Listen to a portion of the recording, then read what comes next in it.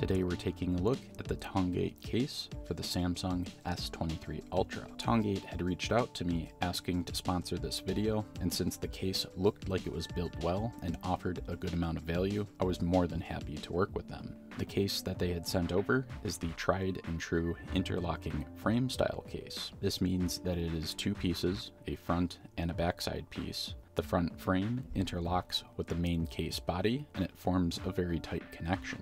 This is good because these cases are very strong in terms of drop resistance. This is a great design because these cases tend to absorb a lot of fall damage as opposed to your phone. Interlocking cases such as this are my top choice for protecting my smartphone.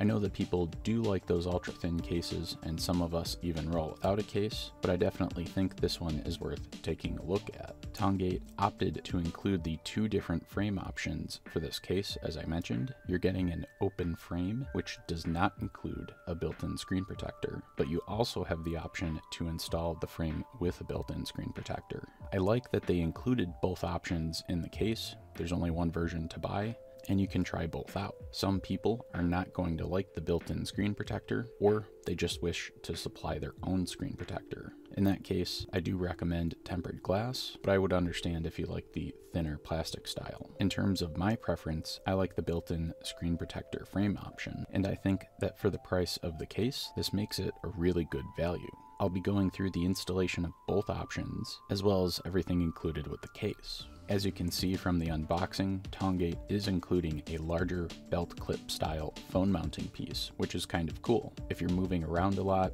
or constantly reaching for your phone, this might be a very useful accessory and it's included with the case. So in terms of the case installation, it's relatively simple. I always recommend that you do a preliminary screen cleaning with a microfiber cloth and then you would start with a case. You would grab whichever frame option that you prefer. I'll be testing the open frame first. You can see that I fitted the frame to the phone body. Instructions are included with the case, but you can see the general gist of how you would install this. You'll fit whichever frame option you like to the phone body first, and then you'll insert the phone body and the installed frame into the main rear case body. The trick to installing these type of cases on a phone is to always install the top side of the phone into the main case body first, and then I always flip them upside down and then press in the rest of the phone.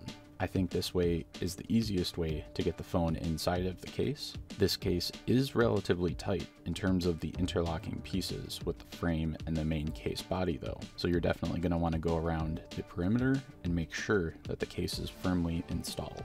The material on the main case body is a smoother but not slippery type of rubber material. It lends itself to having a little bit of extra grip on your hands and your fingers when you're holding the phone, and the case still feels nice in your hands. In terms of the case protection, the sides, top, and bottom of the case are pretty good thickness. The top and the bottom of the case have raised bezels, which is also a key protection item to have.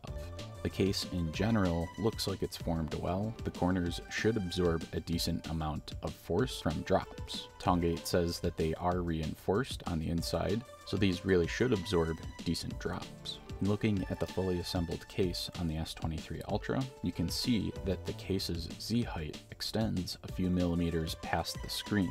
This means that when the phone falls on a flat surface, the screen is not going to touch. This is ideal because you want the case to absorb that uneven impact when the phone gets dropped, not your expensive screen. That's ultimately what leads to the spiderweb cracking on your screen. Switching over to the built-in screen protector frame option, I think the thickness of the screen protector is good.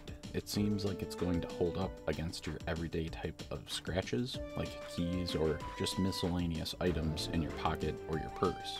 In testing the fingerprint sensor, I didn't have any issues. It picked up my fingerprint right away. Tongate actually uses a different material in this section of the case, and that allows your thumbprint or fingerprint to be read more easily.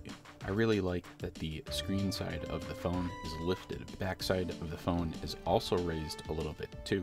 When it comes to the backside design, I think the backside of the case looks good. In general, I like this style. It also seems like the cameras are really well protected. There's a cutout piece in the case which puts at least 2 millimeters, it looks like, in between the camera lenses and the outer surface. As you can see, you have a dual rail sliding camera door, which is an option that I really haven't seen before. This is kind of a neat feature. You can actually slide this door back and forth and then lock it in place. So when you don't need to take pictures or video, you can lock the door over the camera lenses, and then when you want to use the camera, you just move the door to the other side. This is definitely one way to put a barrier in between your camera lenses and the outside world. In terms of other features that this case has, I definitely like that it has a kickstand. I'm a huge fan of kickstands. I'm always putting on videos and wearing my earbuds in my office and in my house. I like that this will prop the phone up so when I'm walking past my desk or the counter, I can see or get a glimpse of the video that I'm watching, as opposed to laying the phone flat on a surface and pretty much never seeing the video. In terms of the cutouts for the microphone, the speaker, the USB port, and the S Pen, they were all clean and they all worked well. I didn't have any audio issues, I didn't have any issues with plugging in the USB charge cable and ejecting the S Pen and reinserting the S Pen was easy. I was able to get the S23 Ultra with the case installed on my Qi charger also. It charged in both the upright and laying on its side positions, so I would say this is definitely compatible with Qi charging. Overall, I really like the Tongate case for the S23 Ultra. This is a pretty solid option. I liked the included frame options and the locking system for assembling the case was very good. I also enjoyed the camera protection solution, lifting the cameras up a little bit and adding the camera door. That's not something I see very often. In general, when handling the case, it really didn't seem too bulky, even though this is a more protective style of case. So that's good to see and feel. So I would say if you're looking for a solid S23 Ultra case option, multiple screen frame options, and a unique twist on camera protection, I would definitely recommend taking a look at the Tongate S23 Ultra case. If you like this case review, it would mean a lot to me if you could smash that like button and let me know down in the comment section. This channel is dedicated to smartphone and mobile tech videos, so if this kind of stuff interests you, make sure to get subscribed.